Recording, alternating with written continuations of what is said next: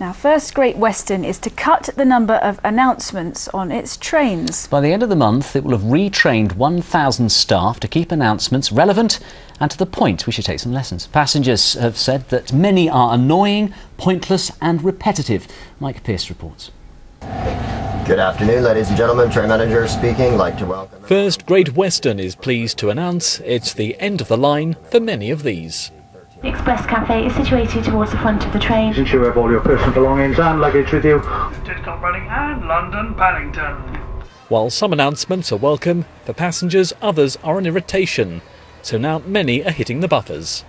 Our customers were telling us that around half of them never listened to any of the announcements we made on trains. They'd, they'd learned to sort of tune out of them, and, and, and that was very worrying to us. So we had to look at very carefully at what we were saying and what customers wanted us to say, what information they needed.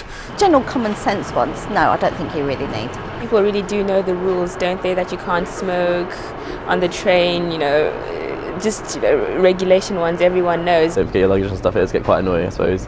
Especially like evening services where people might want to sleep. 1,000 train managers and guards are being trained in how to keep what they say to the point.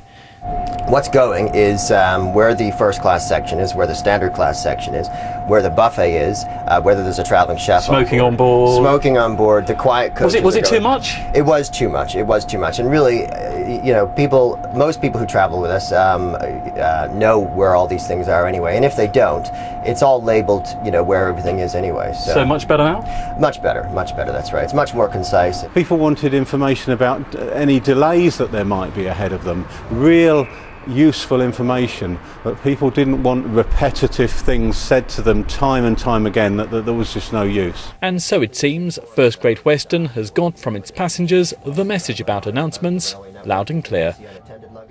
Mike Pierce there. I don't want to know where first class is, but I want to know where the buffet car is. That's the most important thing. Well,